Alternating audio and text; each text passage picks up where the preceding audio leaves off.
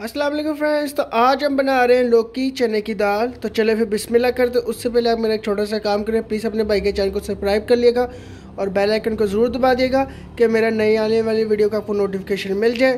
तो चले फिर बिस्मिल्लाह करते हैं। सबसे पहले हम ऑयल डाल लेंगे।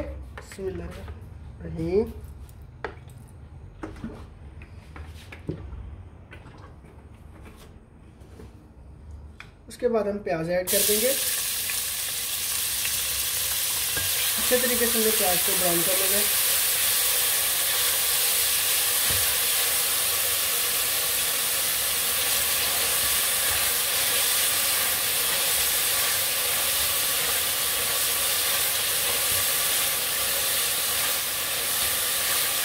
प्याज आप चौक ले लें या दूसरी तरीके से काट लें, ये कोई मसला नहीं है। अब इसमें हम दो टमाटर ऐड कर देंगे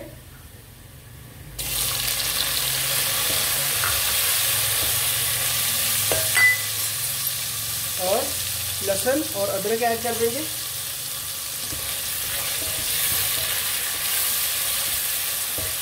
उसके बाद एक कटोरी आपने पानी ऐड कर देना। अब हम सारे मिर्च मसाले ऐड कर लेंगे। एक चम्मच आपने लाल मिर्च ले लेनी है।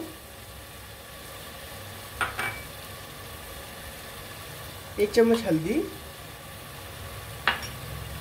एक चम्मच नमक। एक चम्मच आपने धनिया पाउडर ऐड कर देना अब अच्छे तरीके से मसाले को भून लेंगे।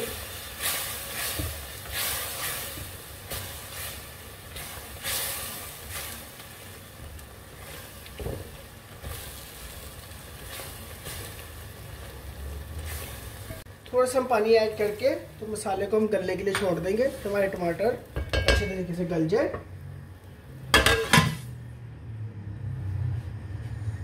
आधा किलो मैंने लौकी ले लिए अब इसमें हम ऐड कर लेंगे मसाले में। दो मिनट अच्छे तरीके से हमने इसको भून लेना है।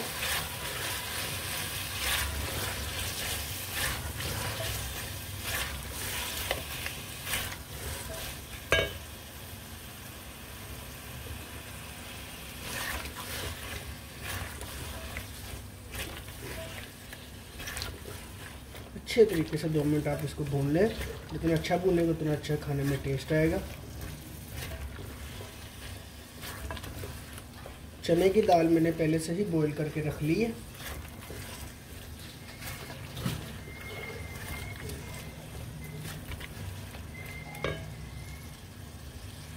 एक कप आपने पानी ऐड कर देना। इसको हमने पकने के लिए छोड़ देना है। सात मिनट के लिए इसको पकने के लिए छोड़ देना है। सात मिनट हमारे हो चुके हैं। तो इसमें मैं दाल ऐड कर दूँगा, जो मैंने पहले से ही बॉईल करके रख ली थी।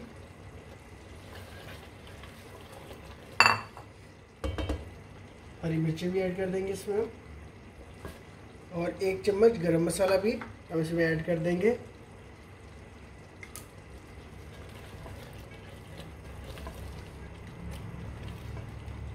थोड़ा सा इसमें मैं पानी ऐड करके सात मिनट के लिए इसको दम पे लगा दूँगा।